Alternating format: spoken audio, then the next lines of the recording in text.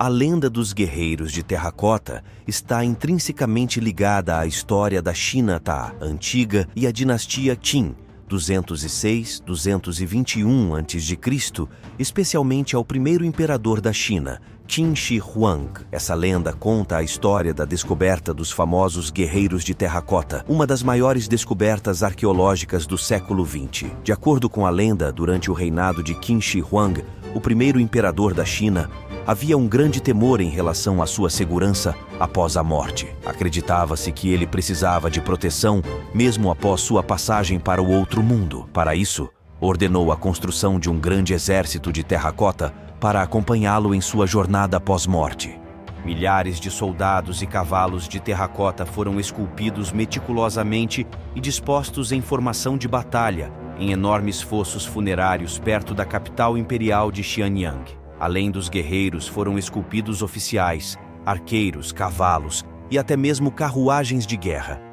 Variedade de figuras. Além dos soldados de infantaria, os fossos também continham uma variedade de outras figuras, como arqueiros, cavaleiros e oficiais de alta patente. Isso sugere uma reprodução bastante precisa e detalhada de uma formação militar da época. Acidentes geográficos ocultos. Acredita-se que os túmulos e fossos dos guerreiros de terracota estejam localizados em um padrão que coincide com acidentes geográficos naturais, como montanhas, rios e até mesmo estrelas. Isso levou a especulações sobre um possível significado astrológico ou geomântico associado à disposição dos guerreiros de terracota, técnicas de construção avançadas.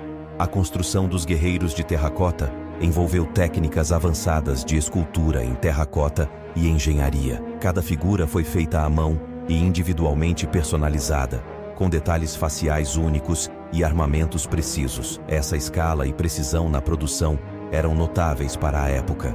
Propósito funerário. Embora a lenda sugira que os guerreiros de terracota foram construídos para proteger o imperador na vida após a morte, alguns historiadores argumentam que eles também podem ter tido um propósito ritualístico ou simbólico, representando o poder do imperador sobre seus inimigos tanto no mundo terreno quanto no além. Mistérios e segredos. Apesar de décadas de escavações e estudos, ainda há muitos mistérios e segredos não resolvidos sobre os guerreiros de terracota. Por exemplo, alguns pesquisadores especulam sobre a existência de fossos ainda não descobertos ou sobre a possível presença de outros artefatos ou tesouros escondidos na área.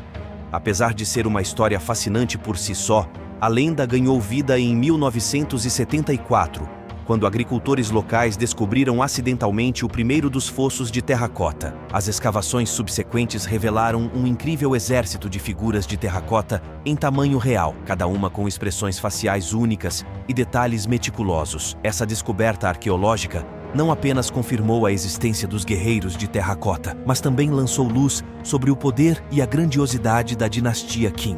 Os guerreiros de terracota tornaram-se um símbolo da riqueza cultural e histórica da China, atraindo milhões de visitantes de todo o mundo para ver essa maravilha arqueológica.